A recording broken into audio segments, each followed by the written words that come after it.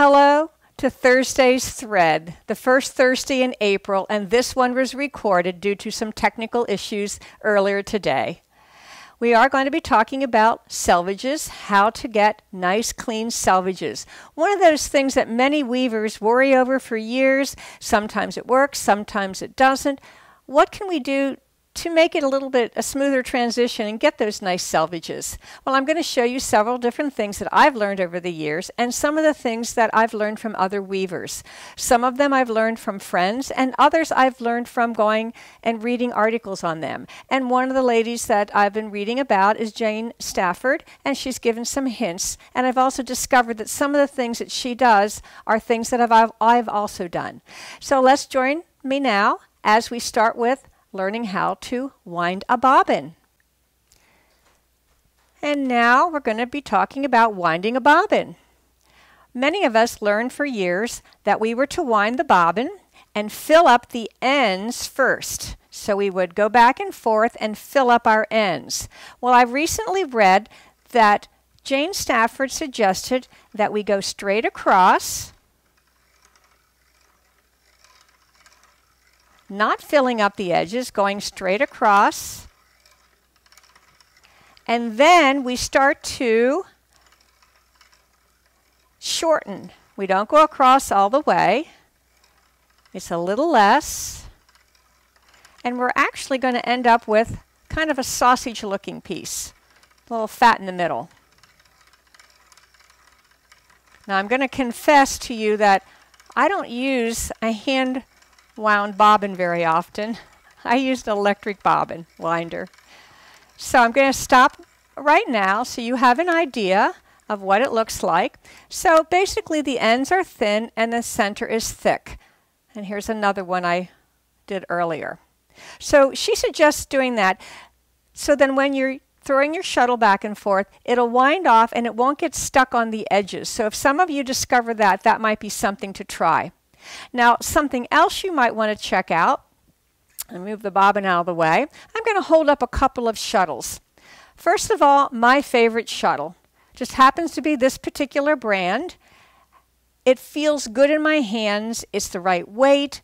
I've been using it for years. I have probably six or seven of these shuttles. It they're, I use them so much that well, this is one of the first ones. I wore the paint or this varnish away from each side where my thumbs are. Found out that this is, just feels good in my hands. It has the regular six inch bobbin. Now some people like to have a larger one. Here's another one. It's open bottom, has a larger bobbin on it because people feel that, well, maybe if I have a larger bobbin, I can put more yarn on it. In actuality, if you would could measure, you would find you really don't put that much more yarn on a larger bobbin. But again, feel, see how it feels in your hands. Now these all come out from the middle, and the other thing that a lot of people are seem to be liking the end feed shuttle. Now this is a larger one. This is actually for your hand, but uh, this company makes a smaller one, and there's a couple companies out there. And obviously you have a pern, so the yarn winds off different in a different way, and it is called an end feed shuttle. Some people like those, so you might want to try different shuttles. For me, I finally found the one I like. I've tried others, and I keep sticking with this particular shuttle. Now we're going to go over and I'm going to give you a little spin around here of the studio. See a little bit of the yarn that's on the shelves. And up oh, right there is my electric bobbin winder, my friend. I actually started using that years ago when I did have an AVL loom and used the uh, larger shuttles, the uh, ones that were for a fly shuttle. All right, let's take a look at this particular loom. This one has a turn twill pattern. So when you're weaving twills, sometimes you don't always catch the edges every single time. Now I'd like you to take a look at both sides. From a distance, they look fine. And as we get closer, this side does not have a floating selvage. this side does. And you can see up here, this is the floating selvage. I'm going to do a little demonstration on how the floating selvage works. Personally, I don't care for them. That's my preference. We all have different things we like to do and things that we're not too fond of. Bring the camera to the side here, and you can see how it works. Whoops, sorry about that.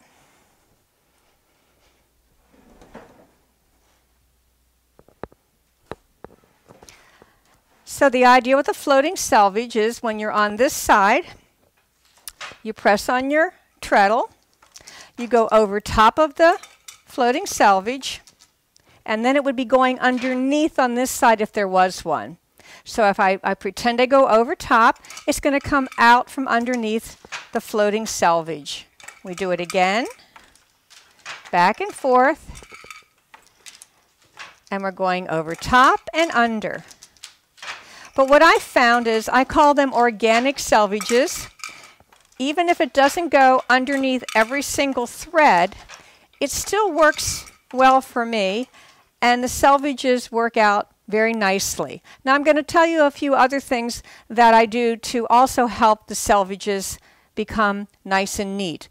A little bit of practice and some other tricks. So we're going to go to another loom.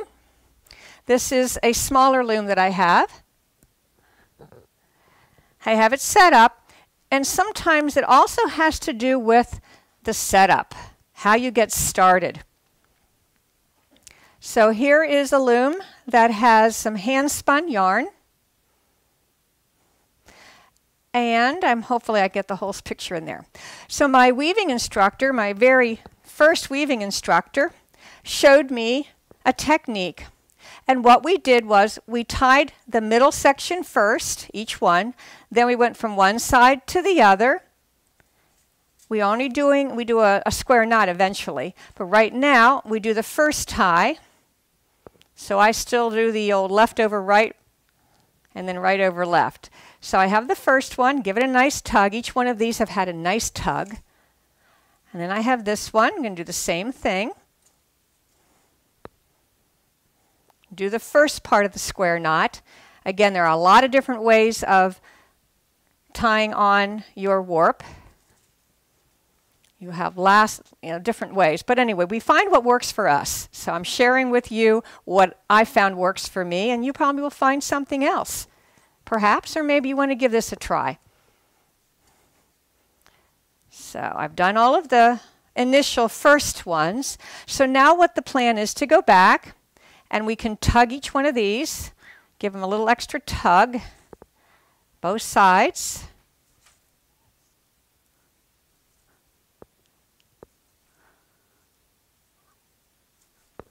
And then the last one. The theory behind this is that as you're tightening these, you go back to the middle. Now I'm going to do the other part of the square knot the, the idea is that the center ones are fairly tight, but as you go back and forth, the outside ones get a little tighter, which means by the time you're finished, your weaving or you're tying on the knot, the edges are even tighter.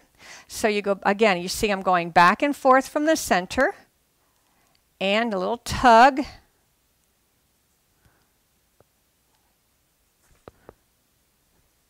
This one. And then I have the last one to the outside. So technically, a little extra tug on all of those. Again, the theory is that the outside ones are a little bit tighter. Again, that's the theory. So that's all ready to start weaving. All this beautiful hand spun yarn.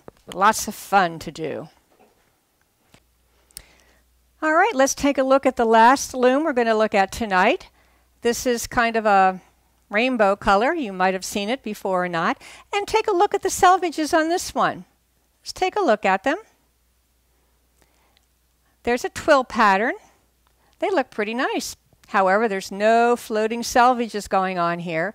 And in actuality, when I looked, I believe it catches two threads and then four are are not caught on one side, and the other side it's three and three.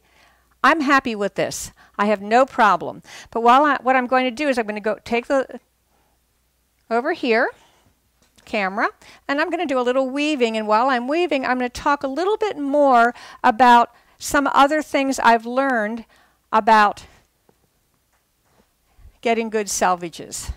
Some other tricks or basically some things that work over time.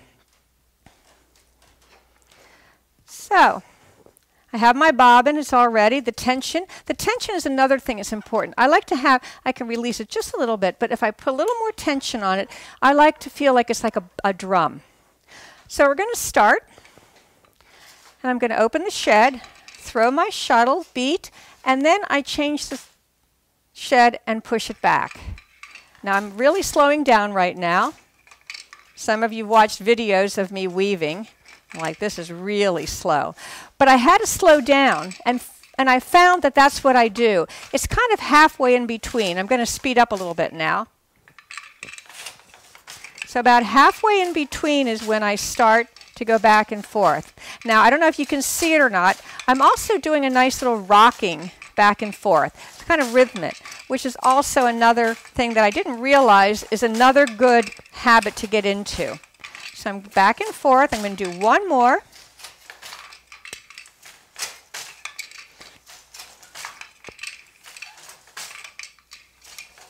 Now I've also can feel the weight of the shuttle.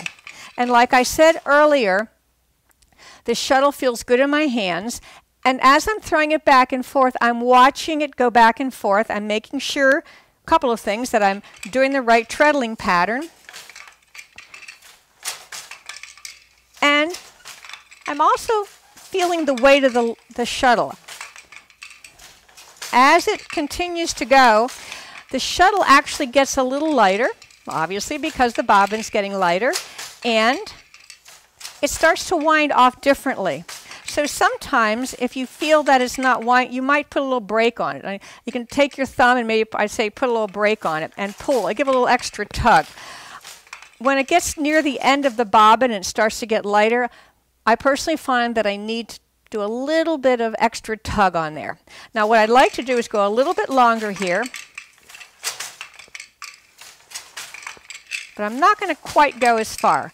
Another thing that many weavers try to do, myself included, is I try to keep weaving up as far as I can. Well, what happens if you get too far up and you advance your warp? you're going to see some, the edges are getting kind of loose and, and so on. You went too far. So, as Jane says, stop it.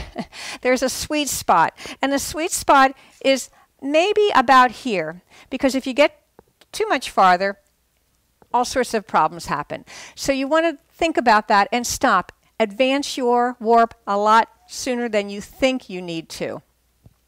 So, those are some, and stop advance your warp a lot sooner than you think you need to. So those are some of the things that I've learned. And let me show you what some of these things look like, products when they're done. So again, I call this organic because the selvages are not perfectly straight, but they're even. They have a nice flow. And this is for a scarf. Again, a scarf flows anyway, so I'm okay with that. I also have a few towels. This is was done on a tabby. Look at both sides here. Pretty straight. Every once in a while there's a little bubble in there, but that's okay. People know it's hand woven that way. This was the same warp. No floating selvages. Nice, even. Just a little wavy, but not too much. And then also on some of the clothing that I do. I think the, um, no, which is easier to see. Maybe if I take the red and put this over top of, you can see the selvages a little better. This is also a twill you can see. And as you go along, you can see there's a little bit of waviness going on. But in the past, like many of the new weavers, I turned my hems on everything. And once in a while, we have something that was kind of wonky on us. This is all, uh, I believe this is 8-2 uh, tencel. This is very heavy 8-8 cotton. The uh, uh, hand spun is at 8 dents per inch. So those are some of the hints or some of the ideas that I've discovered that worked for me. And let me turn the camera back. So before I end this video, I'd like to say a few words again about your shuttle. Sometimes when people are weaving, you may have been told that if your selvage is on the one side are a little uneven, the way to correct that is to scoot yourself to the side that is a little uneven. Or if it's the other side, obviously scoot back to the other side. Sometimes that also will work. I've also found that if I take more care with how I catch the shuttle when I'm throwing it back and forth, making sure that each time I throw it, it's the same motion and I'm catching the shuttle in the same spot back and forth. That also seems to help my selvages. So another thing you can try. And the last thing I'd like to end with is when you're weaving, sometimes put on something that maybe you don't even care about the selvages. Perhaps it's yardage. Perhaps it's just something for fun. And just sit and weave and get involved with the rhythm. And end up, maybe you'll end up weaving a lot of fun yardage like this. anyway, thank you so much for watching and hope to see you all again. And take care. Bye bye.